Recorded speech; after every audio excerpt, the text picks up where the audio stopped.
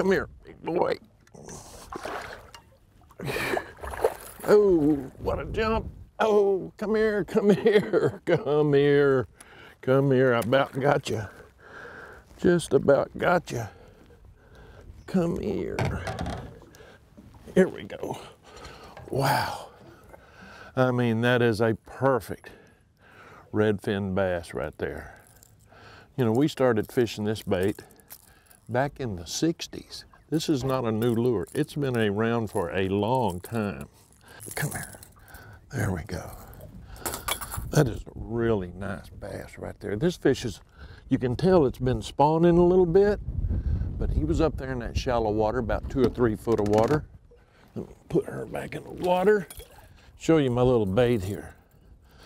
This is a Cordell redfin. A Cordell redfin is the highest floating minnow there is. That means it's got a real erratic action when you twitch it under. You can see all the teeth marks here on my bait. I've caught a bunch of them on this bait right here today.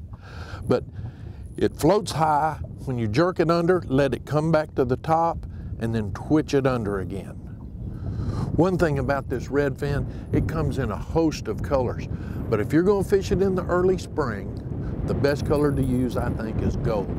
As the water warms up, then you can go to silver. But early in the springtime, a gold redfin, it's an automatic when you're fishing that two to five foot of water in early spring. Everybody needs to have a Cordell redfin in their tackle box, especially during the springtime. Need to have one of these.